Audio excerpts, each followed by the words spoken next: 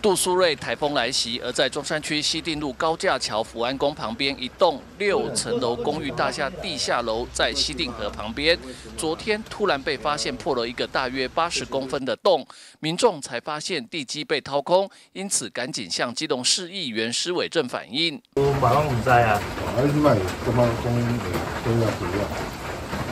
即摆看是即摆看是都还好啦，主要是最最大就较危险啦。哎呐，啊若无水，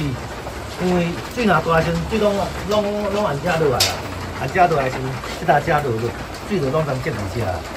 市议员施伟正也邀请市政府公务处和区公所等相关单位人员前来会勘。施伟正丈量后发现，这个洞大约八十公分长，往下延伸的裂缝深度大约五公尺，看了都很担心。我们昨天联络了区公所，才得知说，原来区公所的预算是少的可怜。所以我在这里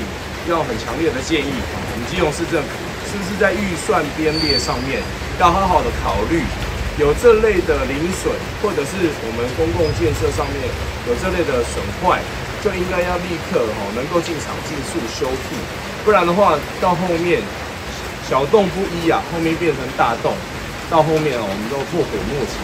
万一有任何的住宅哦发生坍方哦，都不是我们乐见的。我们现在担心的是。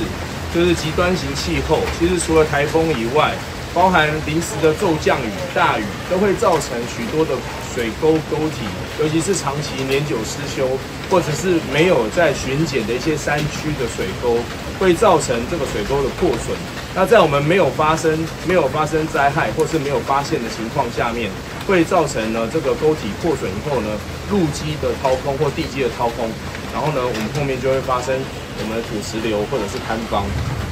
公务处和区公所人员表示，有立即危险的部分将立即修补回填，避免继续掏空造成灾害。记者吴俊松机动报道。